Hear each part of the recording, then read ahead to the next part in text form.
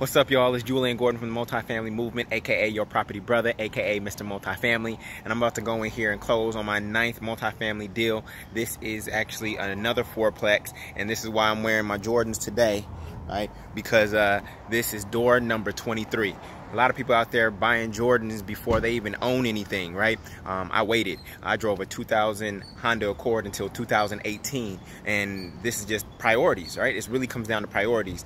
But one big myth that a lot of people have when it comes to searching for real estate is that you go get one agent and you rely on that one agent to go find you the deal. And that's not how it works. The best deals are found off market, so you actually have to be searching and then you can use your agent to go get the deal. But then this deal that I'm doing here, this is my second agent. I have multiple agents. So this idea of, oh, I have a real estate agent, you got to let it go go get multiple agents. The more eyes, the merrier, right? So if you want help doing this, learning how to finance, find, and finalize multifamily deals, go to multifamilymasterplan.com. Peace.